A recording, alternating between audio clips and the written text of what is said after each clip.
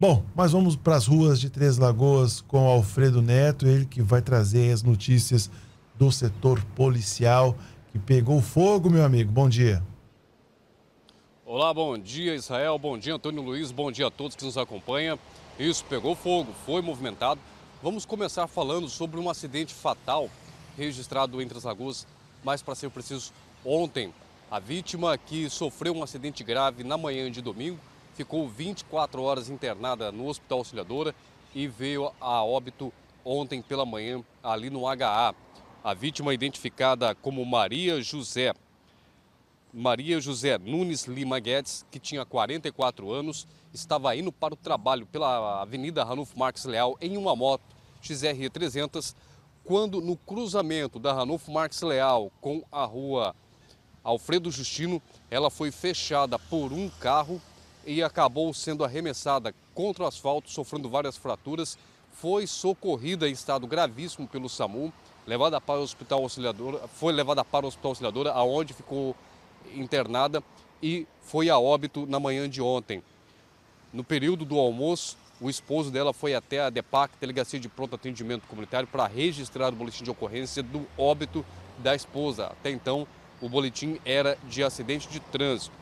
Segundo o esposo da vítima, contou aos policiais civis e, segundo ele, com a cópia do boletim feito pela PRF, Polícia Rodoviária Federal, o carro teria fechado a esposa dele e ela teria sido arremessada. Segundo o marido da vítima, não havia o nome do autor do acidente por conta da PRF ter relatado que o mesmo não estava lá. Para os policiais, ele contou que é de rotina ele ir de manhã no trabalho da esposa para dar um beijo, desejar um bom dia para ela, tomar um café com ela e depois seguir para o dia de trabalho dele. Ele teria chegado no trabalho da esposa, não teria achado a mulher e teria retornado fazendo o caminho inverso, que é de costume dela. Durante esse trajeto, ele acabou vendo a moto dela no chão, debaixo do carro, a viatura da PRF e várias pessoas em volta. Em conversa com os policiais rodoviários federais, ele não recebeu a informação de que o motorista estaria no local. Para ele, os policiais teriam dito que o condutor, após causar o acidente, teria se evadido do local. Então seria complicado o, a identificação desse condutor e que o trabalho teria que ser investigativo pela Polícia Civil.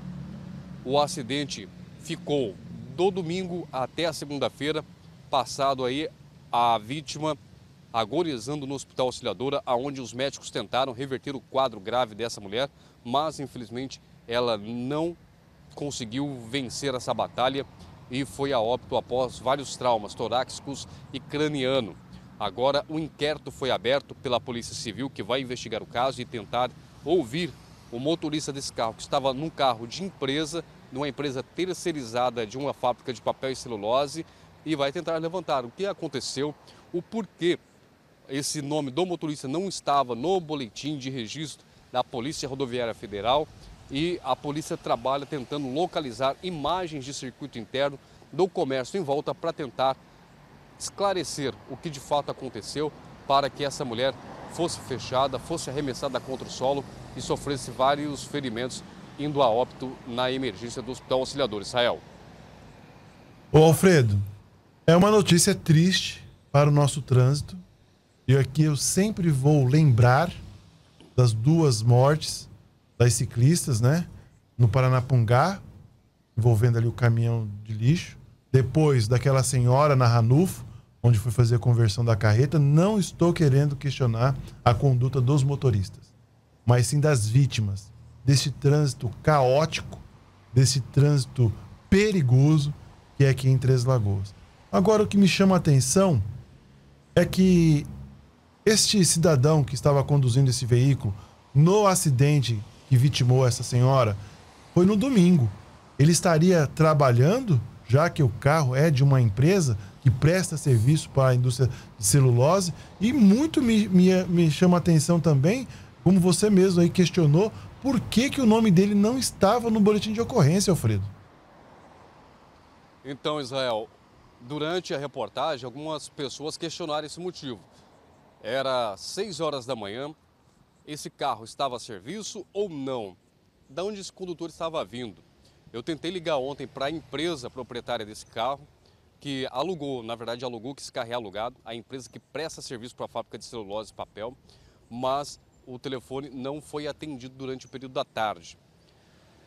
Uma mulher comentou nas nossas redes sociais que o condutor ficou o tempo todo lá acompanhando a ocorrência, conversando com a polícia. Mas ontem eu conversei com o esposo da vítima, conversei com os colaboradores dessa fábrica de papel e celulose que estavam lá registrando o boletim de ocorrência. Eles registraram o boletim de, de ocorrência durante a tarde. Eu, eu havia acabado de sair daquela ocorrência da, do confronto policial, estava lá na DEPAC acompanhando o registro da ocorrência, mas a, lá não foi dado o nome, foi passado o papel da PRF para os policiais civis para anexar no boletim de ocorrência. E quando é assim, como é um inquérito de homicídio, por mais que seja doloso no trânsito, sempre tem ali o nome do autor para ou suspeito para que a polícia saiba com quem começar a conversar e levantar as informações. Então, não tem o nome do suspeito, não tem nome de autor e no boletim a vítima deixou claro que para ele, os policiais rodoviários federais haviam dito que Após o acidente, o motorista do carro havia se evadido. Talvez ele possa ter ficado de lá observando de longe, não se manifestado, mas isso também caracteriza a omissão de socorro. É claro, motorista, o condutor que se envolve em acidente, para escapar de uma investigação de acusação de omissão de socorro, é preciso estar no local, fazer a participação ligando para as competências, os órgãos competentes, resgate, polícia, se prontificar para os policiais, identificando ou, se caso ele está sentindo ameaçado, ligar para os policiais militares, rodoviários federais ou para os socorristas informando que ele estava envolvido no acidente e está em tal local por conta de temer pela própria integridade para que os policiais consigam identificá-lo e não o acusarem de omissão de socorro, como vai acabar sendo caracterizado, já que no no campo suspeito, não tem o nome dele, e a vítima, o esposo da vítima, foi claro, sucinto em colocar que para ele, os policiais rodoviários, havia dito que o motorista, após o acidente, havia se evadido do local